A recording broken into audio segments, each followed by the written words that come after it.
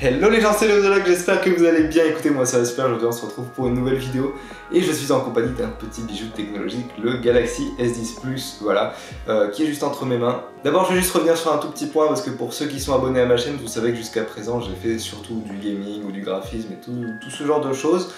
Mais écoutez, je change, mes centres d'intérêt changent et euh, du coup bah j'ai envie de faire des vidéos autour de la tech. Peut-être que ça ne marchera pas, peut-être que ça marchera, on n'en sait rien, mais écoutez, euh, j'ai envie de tenter, donc voilà. Si jamais vous êtes venu sur cette vidéo pour la tech, je ferai pas ça à chaque vidéo, hein, rassurez-vous, mais euh, n'hésitez pas à vous abonner, ça m'encouragerait vraiment, puisque c'est l'une de mes premières vidéos sur la tech, du coup euh, ça risque de continuer sur cet élan.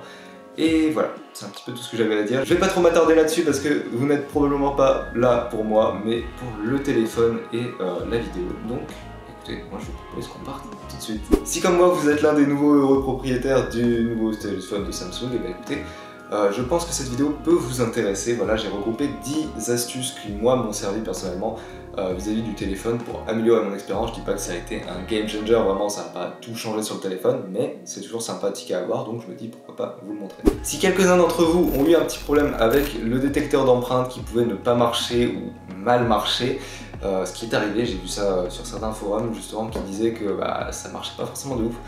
Et bah, il y a une issue qui va marcher un peu déjà mieux, si, ça marchait pas du tout, normalement ça devrait vraiment vous aider, c'est que vous pouvez enregistrer votre empreinte plusieurs fois. Voilà. Du coup, ce que vous avez juste à faire, c'est prendre votre téléphone, vous rendre dans les paramètres et puis ensuite chercher données biométriques et sécurité.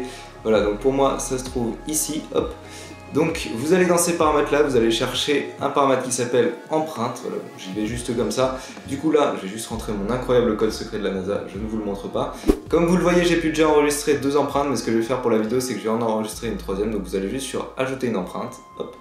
Et du coup là c'est comme si vous enregistrez une nouvelle empreinte et vous l'ajoutez. Donc vous remettez en fait votre même pouce, hein, donc euh, c'est exactement le même doigt, c'est juste que vu que vous l'aurez plusieurs fois, ça va faciliter la reconnaissance. Maintenant qu'on va venir déverrouiller le téléphone, ça devrait mieux marcher. Voilà, en tout cas moi ça marchait déjà très bien, mais pour vous j'espère que si vous aviez un petit problème, ça marchera mieux. La deuxième astuce que je vais vous montrer, elle vient concerner donc euh, la petite pilule entre guillemets, on va l'appeler comme ça, qui se trouve euh, en haut à droite du téléphone. Je sais que pour beaucoup de gens c'est même devenu un argument de style, mais peut-être qu'il y a des gens qui ne l'aiment pas forcément. Et du coup je vais juste vous montrer comment la masquer puisque Samsung a pensé à ça et c'est juste dans les paramètres. Encore une fois du coup on vient scroller et on va se mettre dans les paramètres du téléphone et on va chercher affichage. Maintenant qu'on est dans affichage, on va juste chercher application en plein écran, donc pour moi il se trouve juste ici, et on va cocher le petit bouton ici, voilà, qui va nous permettre donc d'avoir une bordure. Personnellement, je trouve vraiment pas ça joli, je préfère largement avoir la petite bulle. En plus, je la trouve extrêmement sympathique cette petite bulle. Du coup, moi, je l'aime bien. Mais évidemment, si vous, vous ne l'aimez pas, bah écoutez, c'est l'option euh, à prendre si vous voulez quand même avoir un Galaxy S10 Plus. Mais bon, du coup, si vous aimez pas trop ce genre de choses, c'est peut-être pas non plus le téléphone vers lequel vous vous serez forcément penché. La troisième astuce que je vais venir vous montrer concerne le One-Handed Mode. Donc en gros, en français, ça veut dire le mode une main. Mode qui va être très pratique puisque c'est des téléphones qui sont extrêmement grands, 6,4 pouces, c'est pas adapté à toutes les mains et du coup ça peut être un mode très très pratique si vous n'avez pas une dextérité qui soit vraiment euh, incroyable. Ce qu'on va faire encore une fois c'est aller dans les paramètres, on va aller donc juste euh, avec la barre de notification. Maintenant qu'on est dans les paramètres, ce qu'on va venir chercher c'est fonction avancée, donc c'est juste un petit logo qui est seul qui est ici, c'est un petit peu orange voilà avec un écrou.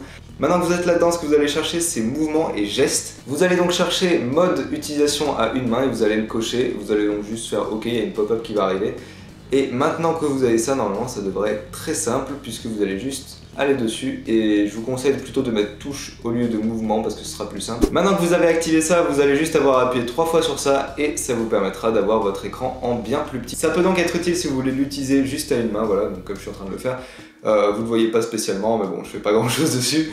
Mais bon, ça peut être très pratique comme mode et ça pour le coup, c'est vraiment une feature intéressante. Pour le désactiver, vous allez juste appuyer sur la zone noire et puis ça se remet à la normale.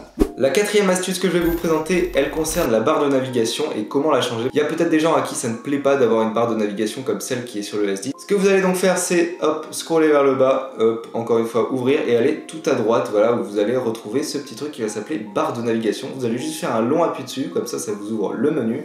Et donc si vous avez envie de changer par exemple le côté des icônes, et eh ben vous pouvez, hop, c'est tout simple et ça peut être utile. Si vous préférez ça, vous pouvez aussi activer un mouvement avec des gestures, donc euh, c'est pas ouf, c'est vraiment pas ouf, donc je vous le déconseille. Mais si ça vous plaît, bah écoutez, pourquoi pas. La cinquième astuce que je vais vous présenter, c'est si jamais vous venez d'avoir votre téléphone, c'est très très important à faire si vous voulez pleinement en profiter. Enfin en tout cas moi je trouve ça très intéressant à faire, c'est que vous allez juste vous rendre dans les paramètres et modifier la résolution pour avoir une résolution plus haute. Parce que le téléphone ne vient pas de base avec la plus haute résolution possible par l'écran.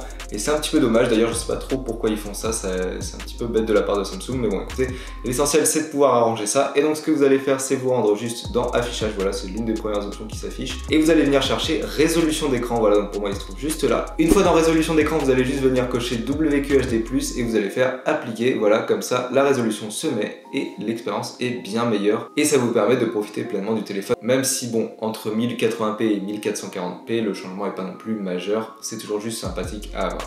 La sixième astuce que je vais venir vous présenter, elle concerne la caméra. Donc j'ai juste lancé mon application caméra et on va se rendre dans les paramètres en haut à gauche. Et donc là ce qu'on va faire c'est qu'on va aller se rendre dans options d'enregistrement et activer le mode RAW. Donc voilà on va juste activer le mode RAW, donc c'est pour la photo pro uniquement, mais ça peut être très utile si vous voulez éditer votre photo après sur des logiciels comme Lightroom, Photoshop, etc.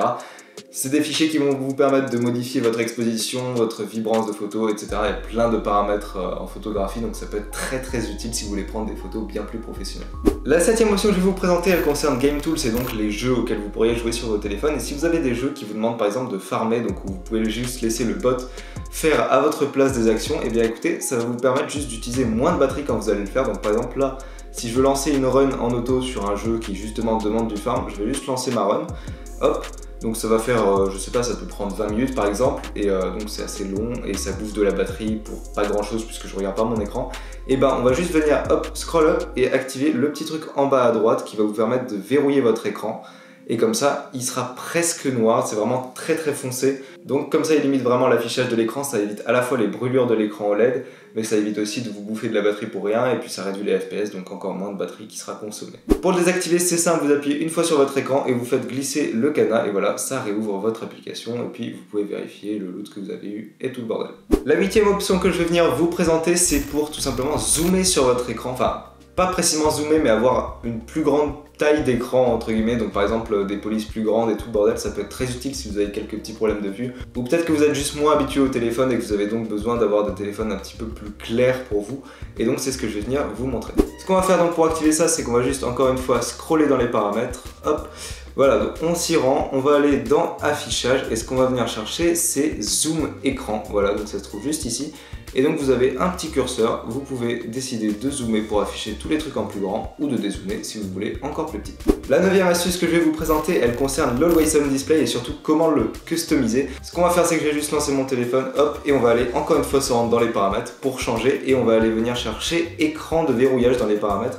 Donc pour moi, ça devrait se trouver quelque part ici. Voilà, écran de verrouillage. Donc voilà, je me retrouve dans écran de verrouillage. Je précise bien, je l'ai dit à peu près 12 fois, mais bon, c'est pas grave.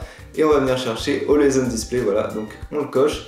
Et euh, là, on va pouvoir accéder à des paramètres, notamment ici où on retrouve une petite pop-up qui nous permet d'aller dans les paramètres du Always Display et de changer, par exemple, le style qu'on veut pour notre horloge. Moi, personnellement, j'ai pris quelque chose qui ressemblait un petit peu aux couleurs donc de l'arrière, une sorte de prisme un peu entre bleu et orange, parce que j'adore vraiment cette couleur. Et euh, voilà, du coup, on retrouve à peu près ça sur mon téléphone. Et enfin, la dernière option, last but not least, comme disent les Américains, ça concerne Bixby. Voilà, donc ce qu'on va faire, c'est qu'on va juste ouvrir Bixby, on va se rendre dans les petits paramètres ici à droite, et là, on va se rendre encore une fois dans paramètres. On va descendre jusqu'à aller sur touche Bixby, et donc là, ça vous permettra de customiser et surtout de diriger Bixby vers un autre bouton parce que Certains gens n'aiment pas spécialement Bixby, euh, c'est pas forcément le meilleur assistant.